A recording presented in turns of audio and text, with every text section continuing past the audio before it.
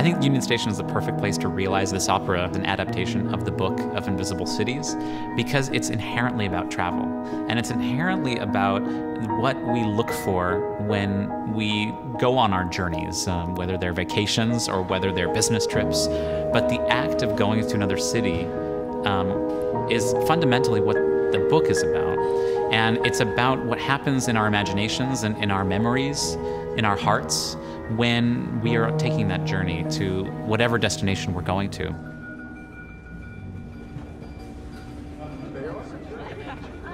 Invisible Cities is a compendium of different, let's call them snapshots of imaginary cities imagined by Marco Polo. That is, he was historical, but this is a fiction, and he would be fictitiously relating these 55 snapshots of imaginary, therefore invisible cities to the Kublai Khan, the, the Tartar emperor of China.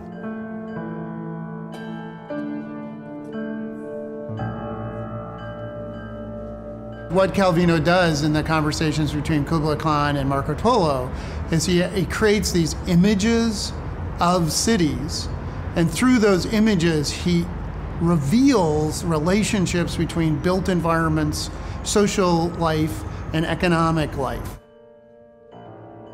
So he has this great story where he talks about how all the astronomers got together and they came up with perfect astronomical approach to urban planning and the urban planners took it and they built the city that the astronomers and the theorists told them would be the ideal city. And then a generation later, the houses are full of people with two, two humps on their back and are insane and are doing wacky things. And they, he gets to the end and he asks you the question is it that the astronomers are wrong? Or is it that this is the city that's the utopia?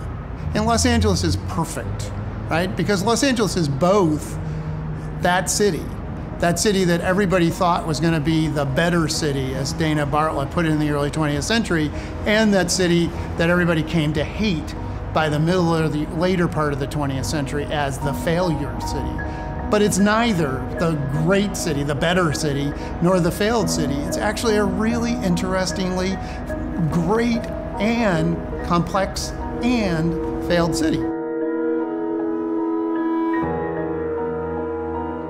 Union Station's a fascinating example because it's one of the last great railroad stations ever built in the United States. And Los Angeles, it, it, it is perhaps an irony that Los Angeles would be the home of that great train station as it symbolizes the end of the rail era, right? It, it's built, and even as it's being built, thousands of uh, Angeleno families are buying automobiles. It has other symbolic meanings to me as an historian in Los Angeles. This was Chinatown. And it, Chinatown was torn down to make way for the new Union Station. It was an act of white dictation of power within the city. And it is a symbol of that of the, of the way that California had struggled with racial minorities, particularly Asian minorities, for decades at that point. In all those ways, Union Station is a very complicated social space as well as a spectacularly beautiful built space. Again, we come back to Calvino. One of the reasons that I like the book is that the name, Invisible Cities. There is no invisibility in his cities, right? His cities are actually very visible places.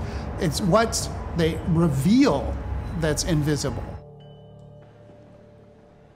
One of the beautiful things about the book and, and about when you're in a space like this, you start to realize that um, the directions that city go are not inevitabilities that the direction a city goes really depends on its own citizens to shape it. Very much the idea of this performance is to invite the audience for 70 minutes to meditate on that, uh, on that very idea. And the fact that we're leaving the station open is very much about letting us survey what our current city is like the, the glory of the architecture, the moodiness of the lighting, the people that are populating this particular station.